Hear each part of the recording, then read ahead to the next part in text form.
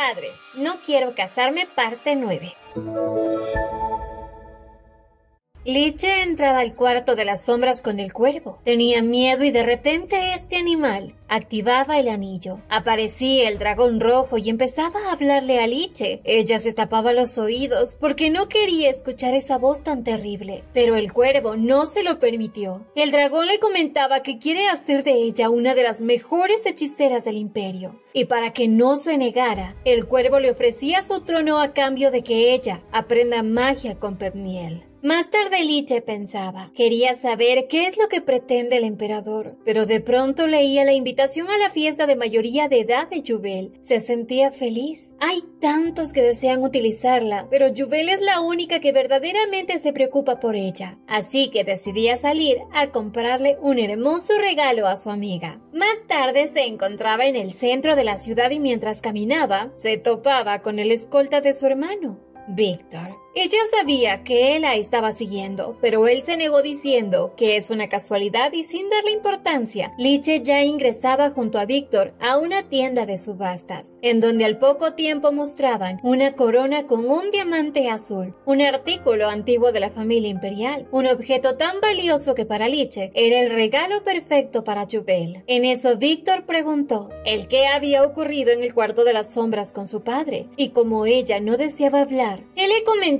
que el emperador y Mikael estuvieron detrás del ataque de aquella bestia en la competencia de cacería, y agregaba diciéndole que el objetivo de ese ataque no era Jubel, sino ella. Su padre buscaba acabar con su vida. Liche no lo podía creer. ¿Acaso su padre es tan cruel? Pero en eso la subasta de la corona empezó y Víctor esperaba que él y Liche unieran fuerzas.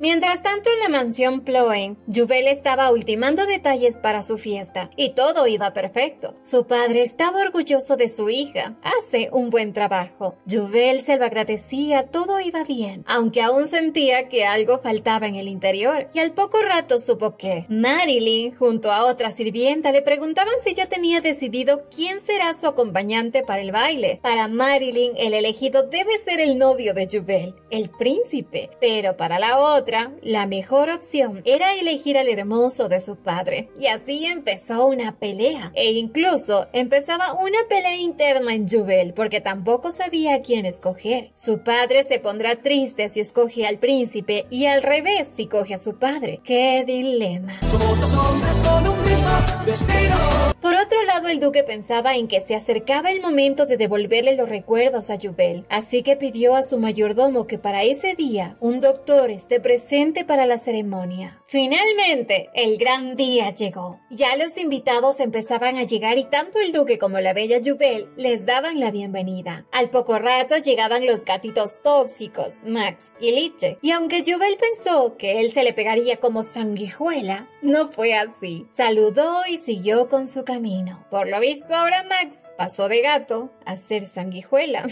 Hoy Max pensaba ser un gatito honorable. Además, ya sus caballeros de confianza estaban preparándose para la sorpresa que el gatito le tenía a Juvel. Ellos le hacían señales diciendo que todo estaba listo y Max estaba feliz, ya que la propuesta de matrimonio será perfecta.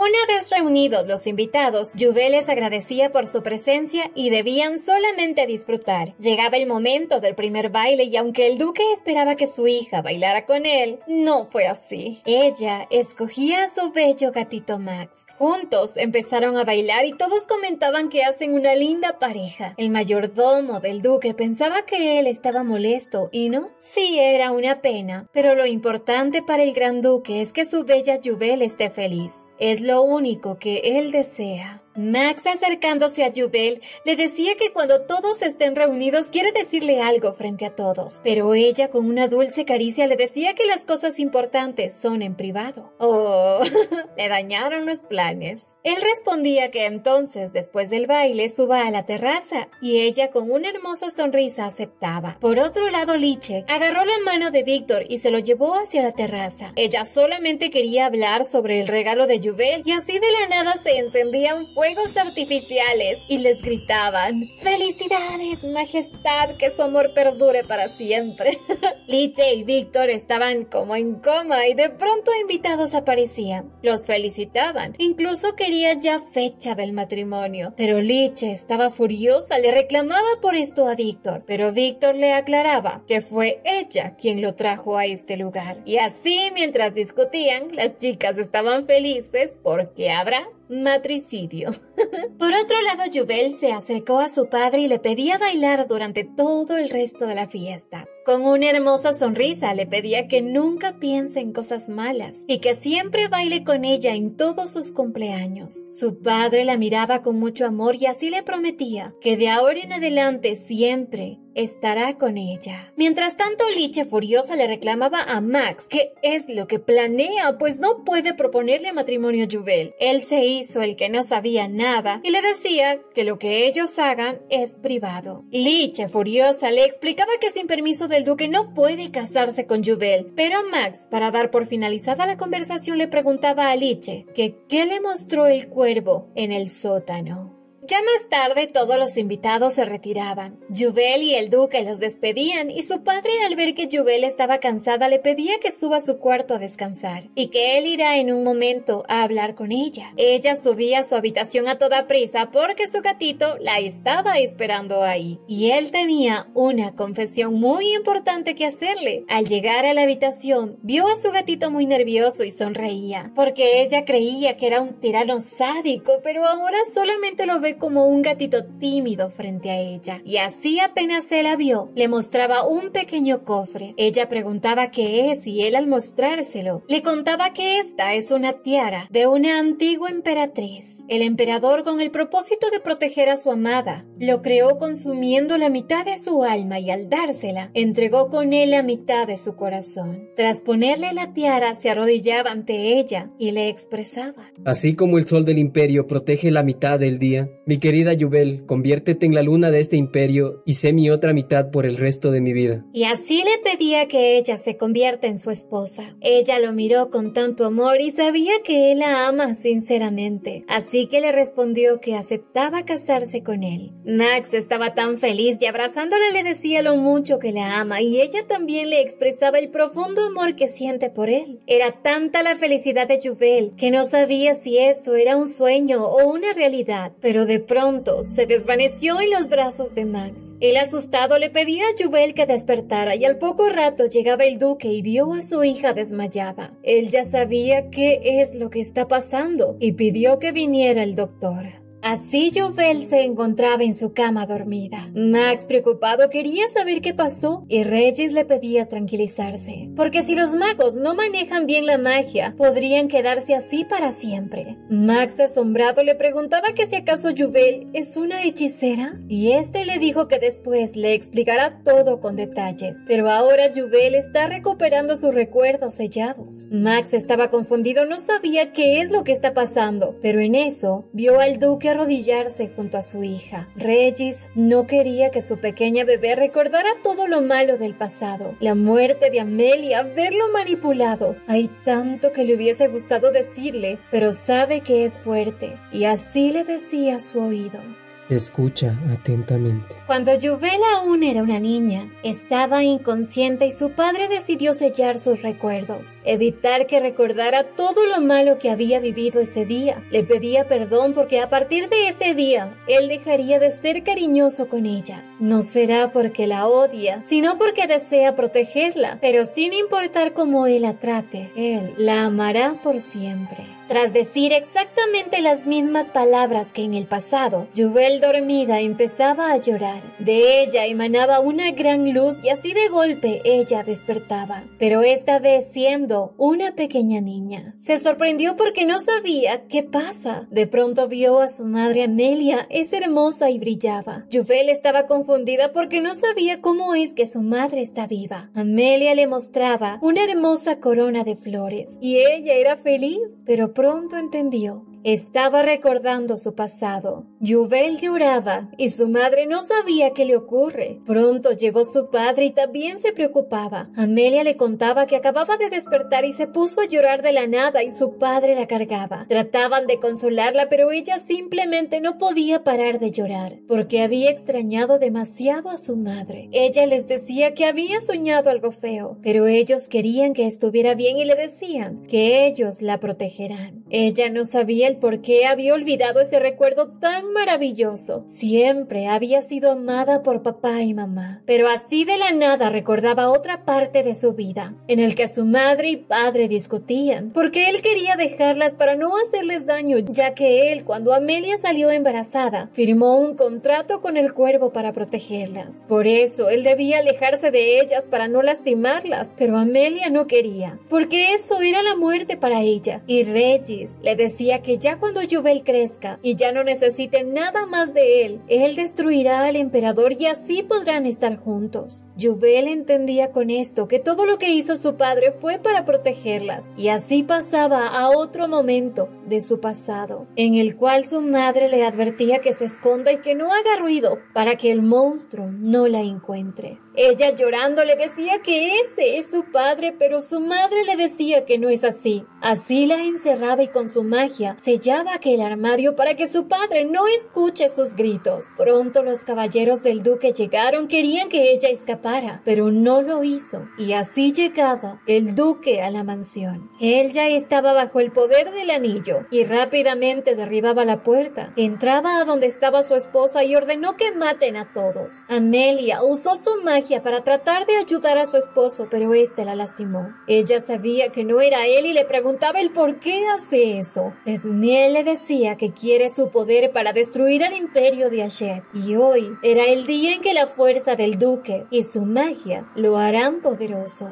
Ya Regis estuvo a punto de matarla, pero ella le decía que recuerde que él la ama y que la mire a los ojos. Él siempre le decía que sus ojos son como dos estrellas y le decía que no lo culpaba, hizo todo esto para protegerlas, así que nunca debe rendirse. Por un momento Regis se resistió a ser dominado por el dragón, pero los caballeros oscuros rápidamente atravesaron con sus espadas a Amelia por la espalda. El duque despertó del dominio y al ver a su esposa tirada en el piso desangrándose, se derrumbó porque obviamente él pensó que él la había matado. Juvel vio todo por la rendija del armario y Regis, quien por el dolor y odio que sentía en su interior, se liberó del poder de Pevniel y acabó con todos los caballeros sombra. Tras eso sujetó a su esposa y le pedía perdón, pero Amelia le decía que fue su decisión y que no debe culparse. A su bebé le decía que piense en todo esto como si fuese una novela. De esa forma será menos doloroso. Pero debía prometerle a mamá que será fuerte. Juvel escuchaba esto y escuchaba el último te amo a su padre y hacia ella. Así de golpe, Juvel despertaba llorando de su sueño. Max se acercó rápidamente a ella y le preguntó cómo estaba. Y al ver a su padre, este le dijo que ahora lo sabe todo. Y con tristeza le expresaba que ahora debe estar decepcionada de él y que si decide alejarse, él no la detendrá. El duque se estaba yendo y Juvel le gritaba que no se fuera. Llorando le recordaba que él prometió que pase lo que pase, estaría siempre a su lado. Max le decía a Juvel que no llorara, pero ella estaba así porque se sentía mal por olvidar a su madre. Max abrazaba a Juvel y le decía que su maestro le había contado todo que ella olvidó eso por todas las cosas terribles que pasaron. Pero de pronto su padre le decía que es culpa de él por no haberle dicho esto antes. Por ello no sabía nada de esto. Él había pedido que sellen todos sus recuerdos. Y el duque llorando le expresaba a su hija lo mucho que siente todo esto. Juvel lloraba y se acercaba corriendo a él. Le decía que esto no es su culpa. Él no mató a su madre. El culpable es el emperador. Rey Reggie se arrodilló ante Jubel y le decía que ella no puede perdonarlo porque no pudo proteger a su madre. Él debió luchar hasta el final. Pero Jubel se acercó a él y le decía que su madre le había dicho tras encerrarla en el armario que Regis es la persona más hermosa del mundo cuando sonríe. Así que le pidió que le dijera que dejara de llorar y que siempre sonría como una estrella brillante. Así abrazó a su papá. Max, quien observaba esto, estaba furioso y pensó que acabar con la vida del emperador es demasiado piadoso para él. Así que va a asegurarse de vengarse por todo lo que él ha hecho y que se prepare el cuervo porque va a pagar piso.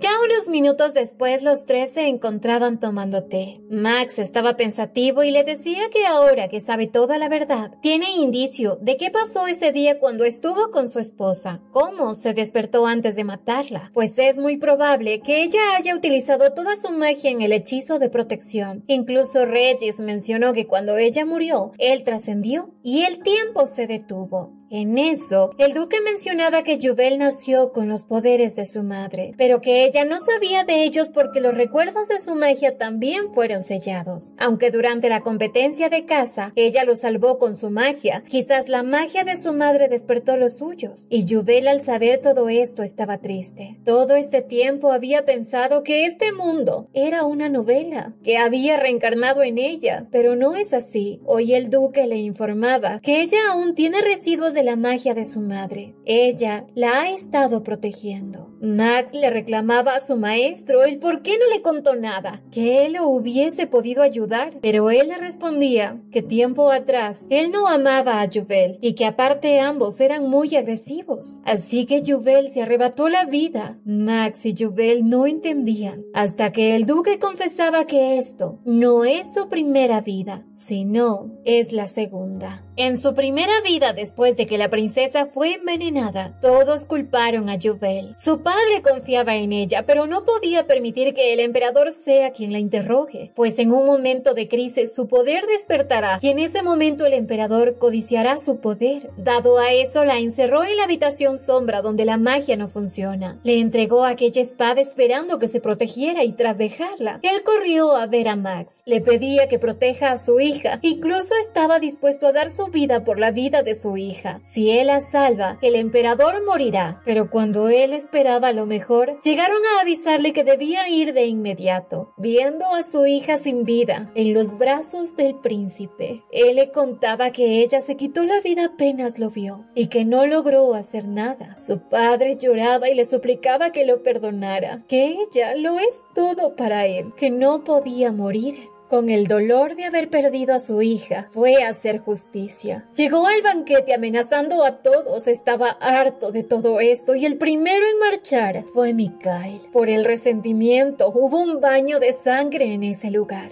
y dejó para el último al emperador. El cobarde lloraba pero no podía controlarlo con el anillo y para evitarlo, Regis cortaba su mano y como sin su hija su vida no era nada, decidió vengar la muerte de ella matando al emperador. Tras ello, Max llegaba con Juvel en sus brazos. Su padre no quería esto. Pensaba esperar a que Juvel cumpliera su mayoría de edad y luego se quitaría la vida para acabar con el emperador. Por eso fue un mal padre, se alejó para que ella no sufriera tras su ausencia. Pero ya nada importaba, y así se lastimaba a sí mismo. Y antes de morir, utilizaba un colgante que le había regalado su padre, un tesoro de la familia Ploen, el cual era mágico, podía devolver a la vida a alguien amado que lleve la sangre de los Ploen, pero el precio que pagará por ello es grande. Pero no importaba, lo utilizaba con su hija, porque no había nada más importante que ella en este mundo.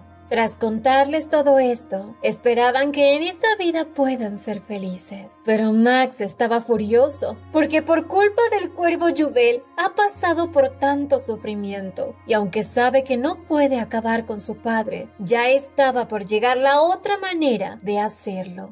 Así llegaba Liche, toda preocupada. Le preguntaba a Jubel que si estaba bien. Estaba muy preocupada por ella y Jubel le comentaba que está mejor. Ella abrazaba a su amiga y a cada rato le preguntaba que si le duele algo o si se siente mal. Por otro lado, Max estaba frustrado porque aunque no fue a él a quien le pasó todo esto, se sentía mal. Aunque el duque estaba sorprendido al ver la reacción de Liche. Pero sin más ni más se llevó a Max y las dejaron solas. Mientras caminaba con Max le dijo que si acaso el método del que habló es utilizar a la princesa, y Max respondía que sí, porque durante la caza ella había despertado sus poderes y que ahora el cuervo está utilizando a Pemnil para que Liche aprenda magia. El duque sabía lo peligroso que es, pero Max furioso le decía que esa es la única manera, aunque Regis mencionó que los magos mueren cuando les quitan el poder, y eso puede ocurrirle a ella. De repente aparecía la gatita Liche y todas serían las preguntaba si acaso no quieren compartir esa información con ella. Es igualita su hermano. Siempre aparece de la nada. Minutos después los cuatro platicaban sobre el poder que tiene Liche y que Pep Neal codicia la magia de ella, así que eso significa que Liche puede convertirse en la nueva propietaria del anillo. El duque, preocupado, le preguntaba a Liche que aún sabiendo los propósitos del dragón, ella está de acuerdo con ese plan, ya que ellos les han robado la magia a todos los magos y como ahora no hay magos a los cuales quitarle su magia, ella iba a ser presa fácil para ellos. Por eso Regis no estaba de acuerdo. Juvel triste también les expresó su negativa ante el plan, pero Max les preguntaba que por qué piensan que su plan no funcionará. La razón por la que el dragón le enseña magia a Liche es porque necesita volverse más fuerte y que mientras pase esto, ellos se prepararán para cambiar de dueño el anillo. Liche le explicaba que el dragón quiere destruir el imperio y que el emperador quiere lo mismo. Así que lo único que deben hacer es que ambos se distancien y así obtendrá el anillo. Se convertirá en la dueña y todo se soluciona. Pero Regis sabía que no es fácil y no quería que se sacrifiquen por él. Pero Liche le dijo que no permitirá que nada malo suceda. Juvel estaba preocupada porque todos están trabajando para ayudarla, así que ella también debía hacer algo. Pero de pronto los caballeros sombra llegaban. El duque pidió a Juvel y a la princesa que se escondan, pero ellos llegaban porque necesitaban la presencia del duque y del príncipe, y que si se niegan serán arrestados y llevados a la fuerza. Max los enfrentó, pero estos les decían que hay una audiencia por conspiración y traición. A Max le parecía sospechoso, porque si fuera una reunión simple, ellos no habrían ido hasta allí para llevarlos. Su padre miró a Juvel angustiada y le decía que no se preocupara, que pronto volverá. Y así se dirigieron a la audiencia. Y como Max sabía toda la vida de los caballeros, sacó información tras amenazar a unos cuantos, enterándose sobre la audiencia. Ya ahí, el padre del cucaracho empezó a interrogar a Max. Le decía que por qué tiene una relación con Juvel, y que si ella sabía que él era el príncipe. Él le respondió que ella lo confundió con un plebeyo y él no cambió eso. Este cucarachón le decía que solo un tonto lo puede confundir con un plebeyo y Max con una sonrisa le respondía que sí, hubo un tonto y es Mikhail porque incluso lo humilló por ser un plebeyo. Esto puso nervioso al padre de Mikhail, pero enseguida interrogaban al duque. Le preguntaron si sabía que Max tenía una relación con Juvel, y él dijo que sí. Entonces empezaron a decir que era una conspiración para quitarle el trono al emperador. Pero el duque de forma fría les decía que él no ha aceptado esa relación porque el príncipe no está a la altura de su princesa. Max lo miraba y pensaba que está actuando muy bien. ¿O será que es cierto y aún no lo acepta? El cucarachón furioso le decía que cómo es eso posible si los dos se ven abiertamente. El duque todo triste les decía que él ha tratado de mil maneras separarlos, pero su hija en vez de alejarse se acerca más a él, así que no le quedó más remedio que quedarse quieto y mirar. Es solo un padre que quiere proteger a su hija, y casi al borde del llanto decía que su hija está siendo robada por un demonio. Max estaba nervioso porque la expresión de su maestro era tan convincente. ¡Qué buen actor! Pero de pronto los padres de los acompañantes que rechazó el duque protestaron diciendo que él había rechazado a ellos como acompañantes de la princesa. Y el duque todo serio les decía que ninguno de ellos estaban a la altura de su hija. Y todos enojados les decían que cómo puede hablar así. Su hija no es tan buena. Y él empezó a detallar cada una de las cosas que han hecho sus hijos. Y esto los puso en evidencia. Así que ya no tenían pruebas que demostraran la traición hacia el imperio. Salieron de ahí y se dirigieron a casa. Pero el duque le decía a Max que aunque no haya sido mucho lo que pasó hoy, ellos debieron haberle pagado al emperador para que los proteja. Pero como los rebeldes son pocos, tiene que hacer que los plebeyos también se unan a él. Así que debían cambiar la opinión de ellos lo más pronto posible. Mientras tanto, en el estudio de la mansión Ploen, Juvel estaba buscando toda la información acerca de la magia para poder aprender y ayudar a sus seres amados. De pronto llegaba Marilyn y le decía que tiene un invitado. Ella estaba feliz porque pensaba que por fin Max había regresado. Pero, oh sorpresa, era el príncipe Helios el hijo de un prestigioso noble. Él saludaba a la princesa y así Juve lo invitó a tomar una taza de té, pero se preguntaba y por qué desea verla. Juve le preguntaba que cuál era el motivo de su visita. Este le dijo que estaba buscando pruebas sobre la posible conspiración en contra del imperio, de la que el príncipe y el duque están acusados. Le comentaba que habían estado averiguando sobre el atentado que hubo en la competencia de caza y que sabía que el culpable es el emperador.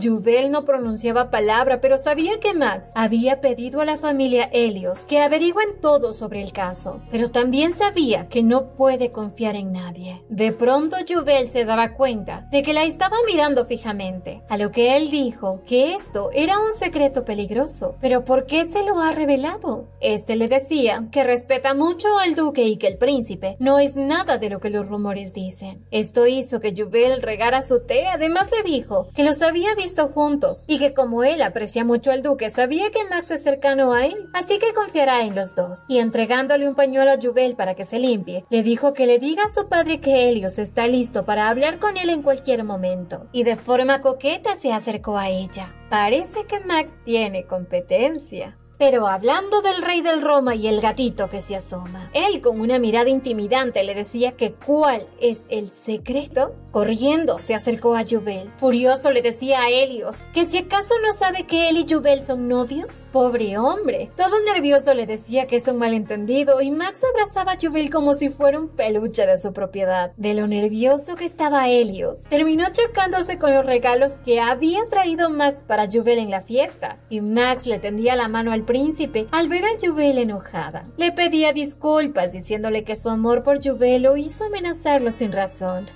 claro que sí. Otro perro con ese hueso. Este gatito estaba celoso. Después de lo sucedido, Juvel abría los regalos que Max le había traído, pero este le preguntaba qué fue lo que quería el príncipe. Juvel le contaba que él solo había llegado para mostrarle el apoyo a su familia, pero al verlo celoso lo provocaba más. Le decía que ese chico es un rubio y guapo, y Max se molestaba pensando en que primero fue Mikael y luego este príncipe. Y así ya ha llegado el duque. Le preguntaba a su hija que si había comido bien y ella sintió. Max, como todo un gatito triste, le preguntaba que qué tiene de bueno los hombres rubios, si los buenos también tienen cabello negro.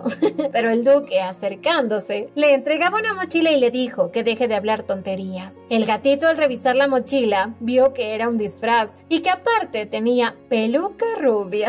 Pobre Max. El duque le decía que se deprisa porque deben asegurarse de que las personas comunes estén de su lado. Y así Max se puso la odiosa peluca rubia, pero para mi parecer como que no le queda el cabello rubio. Tras estar así se cambiaron los nombres y Regis ahora será Leo. En silencio llegaron a un lugar de apuestas. Empezaron a jugar y al ver que Max había ganado, le decían que era tramposo. Max les contestaba que no ha hecho trampa, que solo sabe jugar bien. Y en eso, estos empezaron a recordar lo que había pasado en la batalla. Uno de ellos se sentía tan mal porque el emperador les había prometido recompensarlos por haber luchado por el imperio, pero eso no ha pasado. Estaba furioso porque en esa guerra él había perdido su pierna y le decía que solo el príncipe lo había ayudado, pero que él ya lo debe haber olvidado. De pronto Max le dijo que no podría olvidar al hombre que luchó junto a él, y así se sacaba la peluca. Al poco rato el duque hacía lo mismo y todos se inclinaron ante ellos. Pedían perdón por haberse comportado mal, pero Max se acercó a ellos y les dijo que levanten la cabeza, que él está ahí para que lo apoyen a convertirse en el nuevo emperador y así poder cumplir todas las promesas que el cuervo no ha cumplido.